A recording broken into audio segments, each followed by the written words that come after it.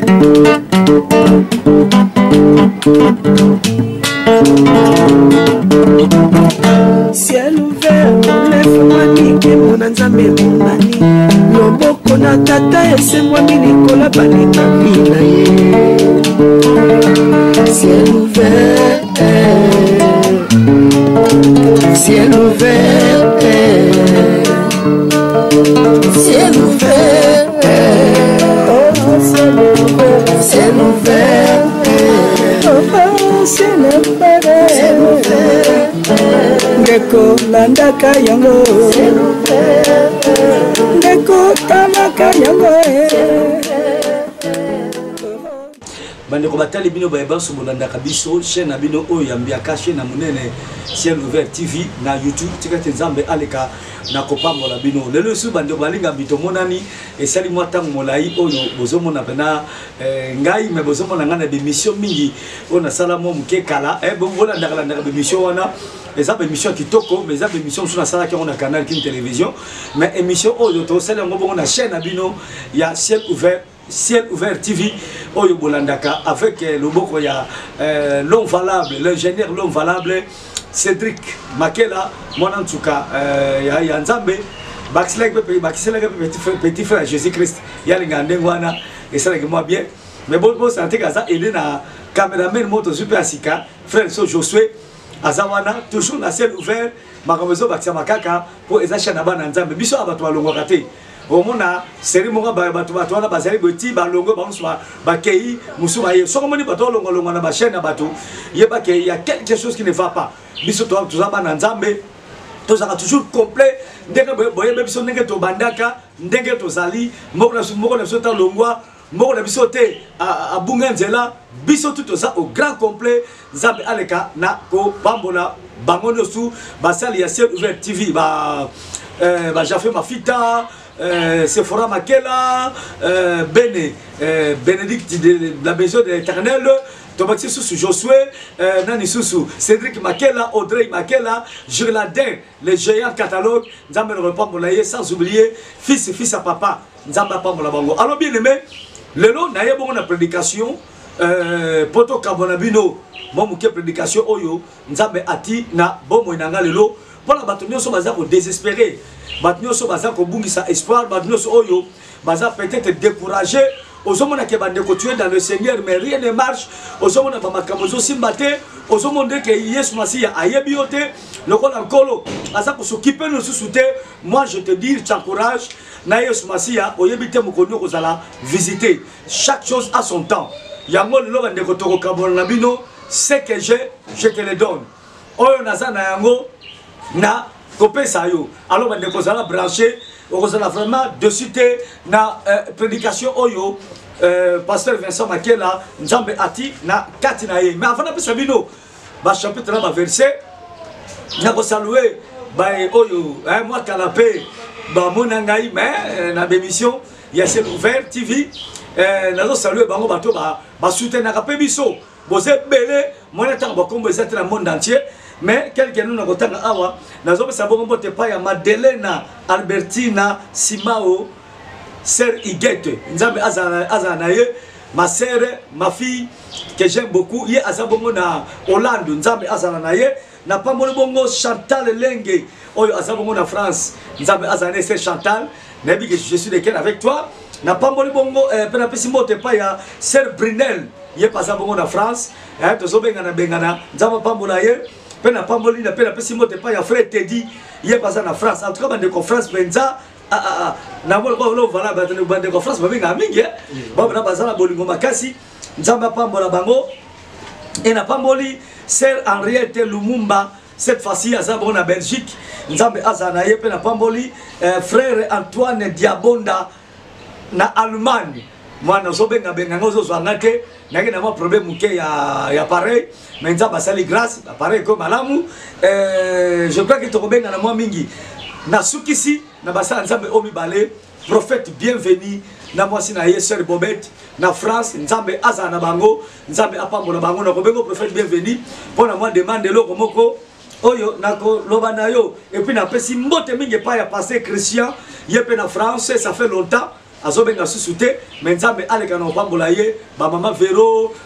baser wivine eh, tout ça boza ebele moyen ntaka bino so ezali te na sukisi epai ya mwana na ngai eh, oyo aza bongo na londres nzambe aleka na kopambola ye ester mabengi le diamant noir nzambe azala na ye nkolo aleka na kopambola ye na mobali na ye moto oyo aza bokilo na ngai aselanga mwana na ndako azolese bien azolate bien baza mpe na paix dans le seigneur nzambe ayana na pambola ye e napamboli mpe mwana na ngai eh, aye kotala ngai te nzambe fal aleka na kopambola ye papa eh, papa na biso eh, mobali ya, ya mama zola eh, papa eh, papa dieu donné oui papa dieu donné mobali ya mama zola dieu donné boga alokaka papa na ye nzambe azala na ye elongo asala nga surprise aye kotala ngai awa mpe nabosani te kopesa mbote mingi epai ya mama élise kolo makusa toujours na cuisine ye chaque fois na cuisine bato batunaki mama mama élise ye bena kolo makusa nzambe aleka napambola ye mpe napamboli mon fils mon chauffeur fibo fibo fils ya papa et sans oublier mabebe bene nzambe vraiment azala na bango alors nabeki te na biso lelo ezali ce que je je te le donne bien aimé Tofongola na yo mokanda na Nzambe. Je crois que tokotanga yango, tokotanga euh, livre ya mokanda ya Actes des Apôtres, misala bantoma chapitre 3, tobandi na verset 1, soki Nzambe akosala grâce tokita ti na verset 11. Mais je vais lire ça rapidement. mpo na edification ya bana nzambe on ne peut pas prêcher sans toza na soubassement moko oyo ezali koapuye makambo tozoloba alors notre soubassement biso bachrétien c'est la parole de dieu ezali bongo bible sans bible toza na eloko mosusu oyo tobetaka se te likolo na yango te il faut bible nde eloba biso nsima na yango tokomanyola yango mpe tokopesa bato eh, eh, koma eh, bapense ya nzambe par rapport ya liloba na ye oyo eza bongo na kati ya bible natangi na kombo yesu masiya je dis bien soki ozwi biso na retard na mokanda ya acte de l'apôtre chapitre 3 koba na verset 1 ti na 11 je lis au nom puissant du seigneur jésus christ pierre et jean montaient ensemble sur, au, au temple à l'heure de la, de la prière c'était la neuvième heure je reprends pour la meilleure audition pierre et jean montaient ensemble au, au, au, au temple à l'heure de la prière c'était la neuvième heure il y avait un homme boiteux de naissance qu'on et qu'on plaçait tous les jours à la, porte du temple, appelé la belle, la belle, pour qu'il demande l'aumône à ceux qui entraient dans le temple. Verset 3, cet homme voyant Pierre et Jean qui allaient y entrer, leur demanda l'aumône. Pierre, de même que Jean fixa les yeux sur lui et dit, « Regarde-nous. » Et il les regardait attentivement s'attendait à recevoir de quelque chose. Verset 6, alors Pierre lui dit, je n'ai ni, argent ni or, mais ce que j'ai, je te le donne. Au nom de Jésus, Christ de Nazareth, lève-toi et marche. Et le prenant par la, par, la main droite, et le fit lever au même instant ses pieds et ses chevilles devinrent fermes. Devinrent fermes, oui. Dès-haut, il fit debout et il s'est mis à, marcher. Il entra euh, avec, eux dans le temple, marchant, sautant et louant Dieu. Verset 9. Tout le monde le vit, marchant et louant Dieu. Verset 10. Il reconnaissait que c'était celui qui était assis à la, à la belle porte du temple pour demander monde. Et il fit rempli d'étonnement et de surprise au sujet de ce qui lui était arrivé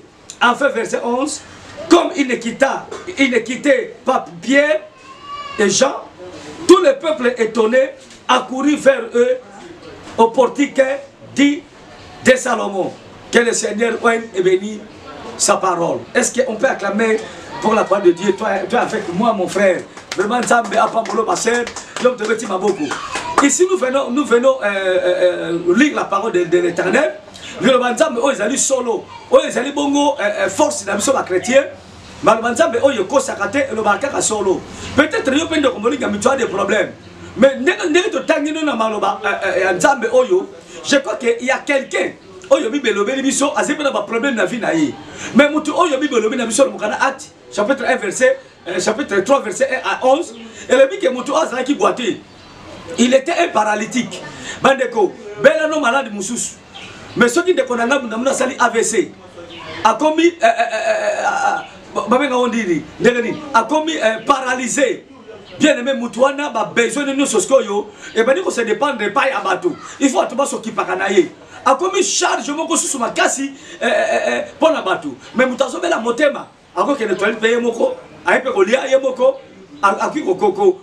bien aime akoki osala makambo ebele ye moko moto azobela motu moto azobela mokongo moto azobela eh, eh, eh, ntango mosusu maladi moko songolo il est capable de faire beaucoup de choses ke motu oyo akomi paralyse to motu oyo akomi paralytique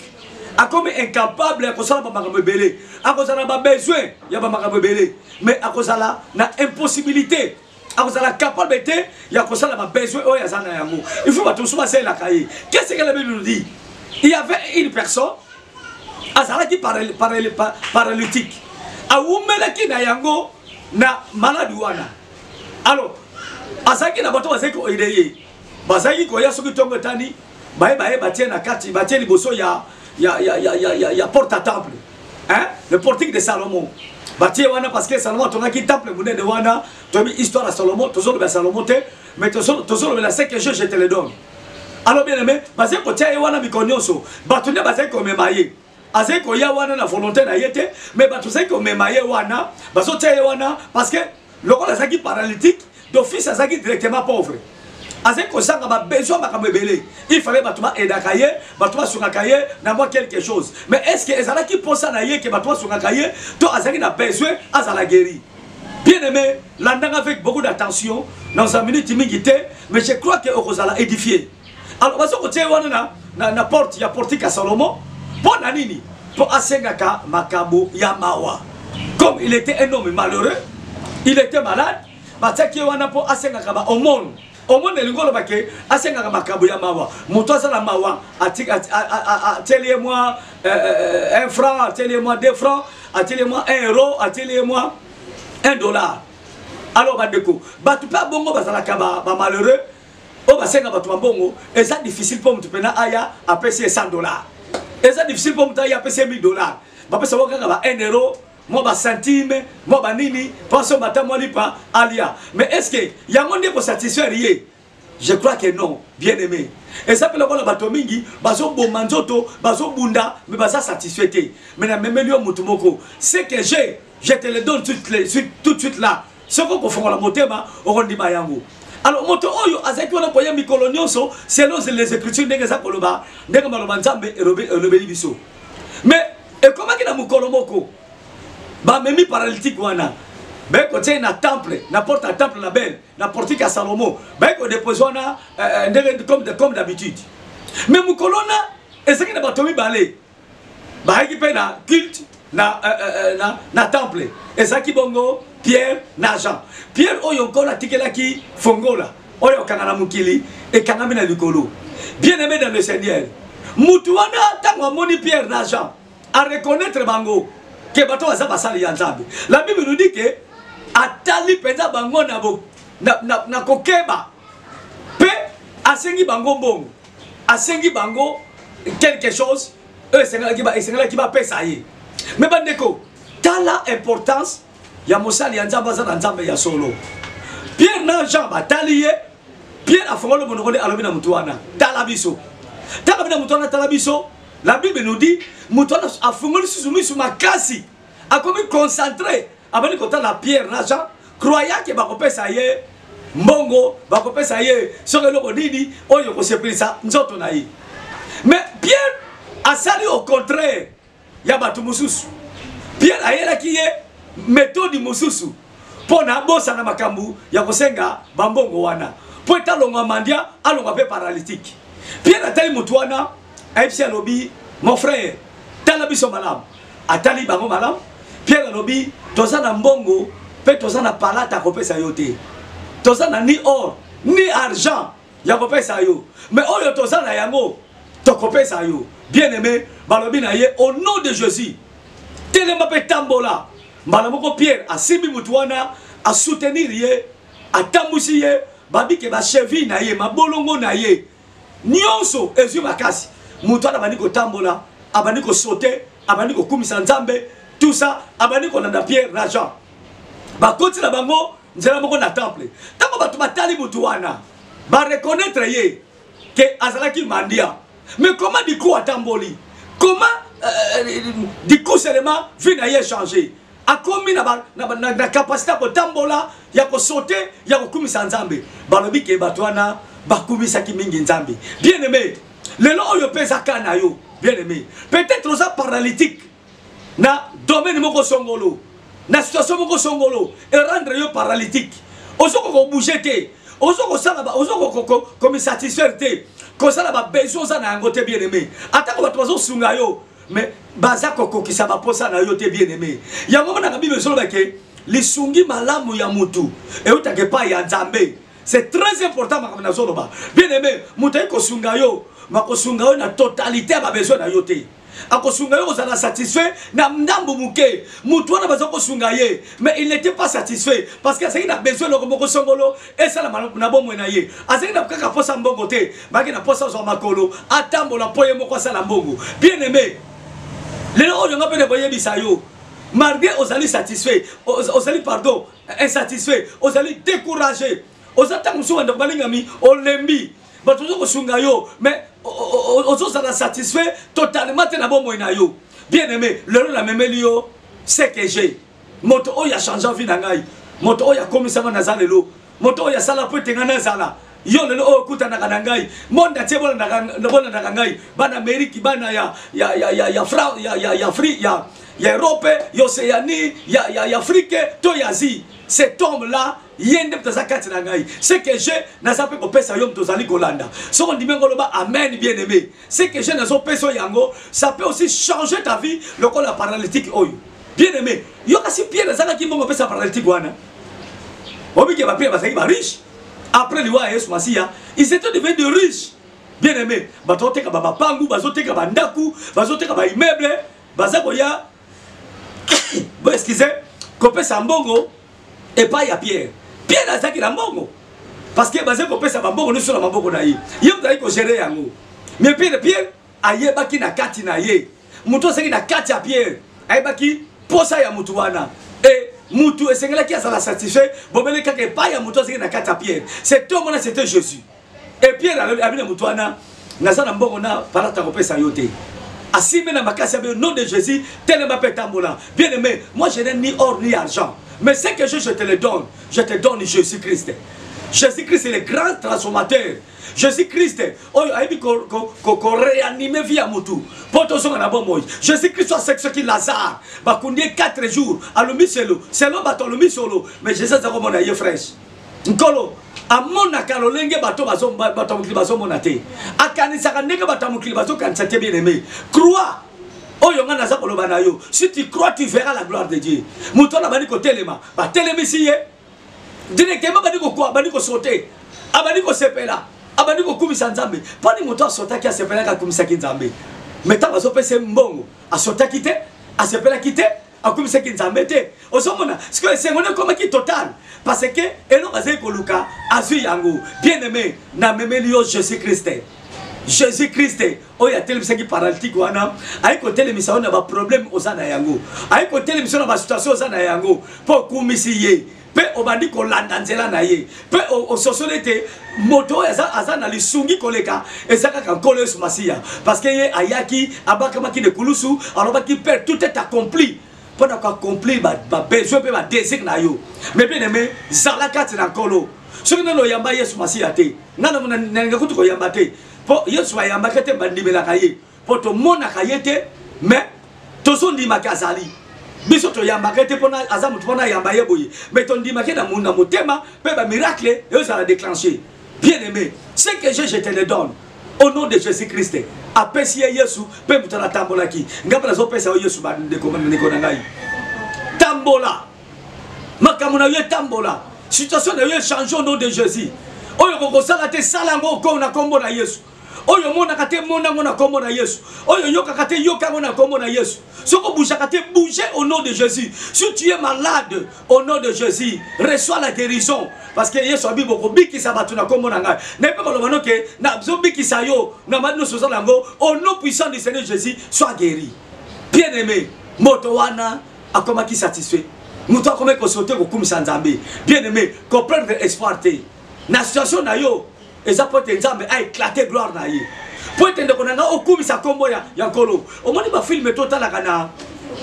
na, na nini na, na, na ciel ouvert bien aimé eza bamontage te eza baphotoshop te eza batricage te eza meme kiona tosalaka te toyokani mais ce sont des réalités soko moni biso toti image na chaîne na biso eza makambo esalamaki solo boza kotala ndeko moko aza wana azalaki presque il était presque mort akufaki mais bomoi ntango azomona ndenge azongi na bomoi bien aimé tout est possible à dieu boza komona bandeko mosusu papa nalokaki ye abungisi bozwi abungisi makambo ebele mais tosali kaka mwa priere moke bomoni image nde mosusu ndenge nzambe azongisi ye bien aimé pourquoi pas yo miracle oyo nzambe asalaki sœur igete na une semaine amoni loboko ya nzambe nzambe akoki kosalela yo tout est possible eh? soki otuni sœur igete obenge na olani osenge nimero na apesi yo nimero na yo akoyebisa yo miracle ye amoni tout est possible à dieu nzambe akosala makambo kokama na bomoi na yo oyo oyebi te tala mosali ya nzambe nzambe atinda biso mosali ya nzambe aza wana mpona kokabola bato mapa te aza mpona kokabola bato mbongo te aza na mpona kokabela bato kokotisa bato na baekole te aza na mpona kokotisa bato na bopito te aza na mpona kosala soni te mais aza na mpona kokabela bato jésus ce que je oyo ngai naza na yango je n'ai pas d'argent naza na ngai na mayele mingi te mpona nabanda kotangisa yo naza na ngai na mbongo te je ne suis pas riche mais j'ai une personne qui est à moi C'est Jésus-Christ, hein, le, le, le, réparateur des brèches. Il peut te réparer. Il peut réparer tes, pro tes problèmes. Akoki kobongisa ba makambo vina yo. Akoki pe ko résoudre yango bana moko pe ndeko na ngai okomi mutu esengo, okomi mutu akoseka, okomi mutu ya, ya, ya kimia. C'est très important bien aimé. nzambe atinda biso teke tofongola baekole tofongola bopito tosala basale de mort te bien aimé mokosi na lobaki yo na église omonaka na bopital meme na bopito minene omonaka chaque opito ezalaka na salle de, na salle de mort pourquoi parce que bayebi ke tozo soigne mais toza, toza capable ya kobikisa te mais na baeglise ata baeglise yango eza na bamembre ebele baza 10 000 personnes baza 50 000 personnes omona jamais na nsima eglise bata salle de mort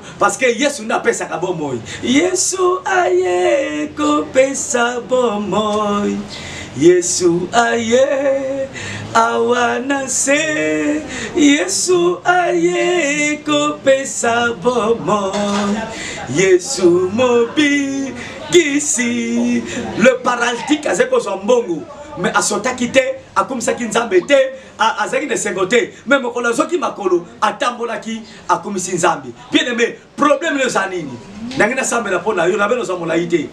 quel est ton problème nani aza nsima ya likambo na yo oza kosouffrir mais jésus alingi asisa yango yesu alingi osila na problème na yo ozwa mpe sengo lokola paralytique oyo okumisa mpe nzambe osanzola mpe nzambe bien aime landa prédication oyo avec beaucoup d'attention zongelaka zongelaka zongelaka yango okomona loboko ya nzambe likolo ya bomoi na yo voilà oyo nzambe atiaki na mona motema na ngai nakaba na bino mwa prédication ya moke ya mokuse ce que je je te le donne au nom de jésus christ traite oyamba oyamba basolution oyamba eh, bikamwa oyamba biyano na yo na nkombo na yesu masiya yango wana basali ya nzambe toteya bato jésus ya solo osala mission na yo dans la vérité po ete à travers yo yesu abikisa bato ebele me baindigent moto azomona ke make ngai na vie na ngai nakobonga lisusu te c'est fini baza kotika nde baza kotika ndeko oyo na portike ya solomo mpo asengaka baomone mais directement du coup akutani na vrai basali ya nzambe situation na echange mpe histoire ya vie na ye echange bien aimé Je te dis la vérité au nom du Seigneur Jésus-Christ. Hein. Jésus change ta situation. Wana ozo na prédication oyo. Azo bongo na makambo na yo. Azo tia yo lembo pour kumisaka ye au nom puissant du Seigneur Jésus. Tika tu la solution na ba problème oza na yango na kombo na Yesu Masiya. Bien-aimé, soki oza na problème oki tobondela na yo esika ozali okotombola maboko no ndenge nasali mpe tokosambela na yo esika moko toprie seigneur dieu de gloire dieu des armées yo ozali nzambe yo totie na motema ya ngai nakabola na bano na monde entier liloba oyo seke je je te le donne yesu masiya yo obikisa biso na nzela liloba bapesaka biso biloko ya kolia te bapesaka biso mbongo te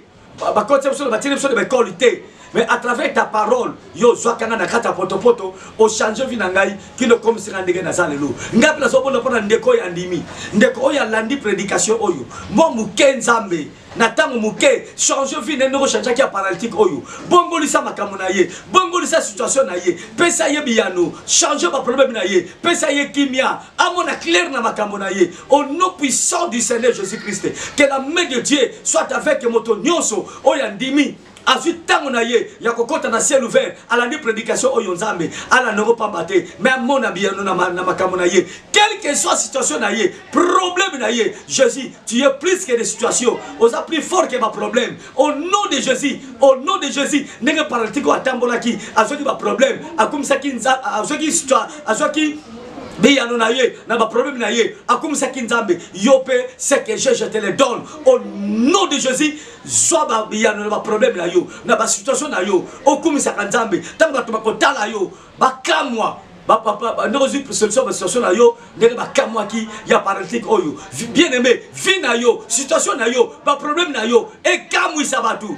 baloba esali kisi yo to nini olobaki au nom de jésus yesu nde abikisi ngai bien aimé tika tozala témoignage nzambe akutana na yo loboko ya nzambe ezala likolo na yo ozala témoignage okamwisa bato na nkombo na yesu masiya traite nzambe azali elongo ngolo ya nzambe ezipa yo makasi ya nzambe ezala makasi na yo nguya nzambe ezala nguya na yo basolution ya nzambe ezala basolution na yo kola kokisa baposa ya motema na yo na nkombo na yesu masiya tosengi mpe tobondeli bongo zomisala kondima amen ok tobeteli kolo maboko naoni papa te dona azongisi amen nzambe apambola ye vraiment tokomi na suka mpo na lelo eloko ya tozobeta se te toa na mposa basoutien na bino bato bolonaka chaîne na bino ciel ouvert tv toza koluka euh, koluka kosensibiliser bapartenaire bato bakolinga kozala bapartenaire na chaîne na biso ya ciel ouvert tv ata chaque mois ou chaque semaine soki olingi kos'inscrire euh, obenga na numero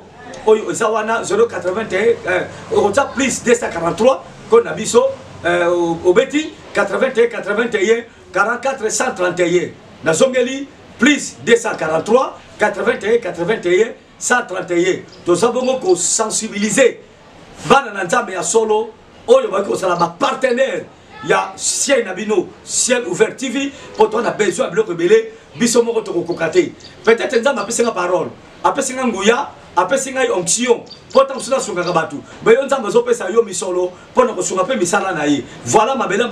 ya malamu ya kolona ezali yango oyo soki olingi kosescrire olobi ke ngai nasepeli meme ata par mois natina ata mois 50 mois 20 mois 100 mois 200 mois 300 pourquoi pas, pas, pas 1000 pourquoi pas 5000 vraiment eza kaka yo benga na numero wana tokokoma nkombo na yo tokosololaka tokobondela mpo na yo mpe nzambe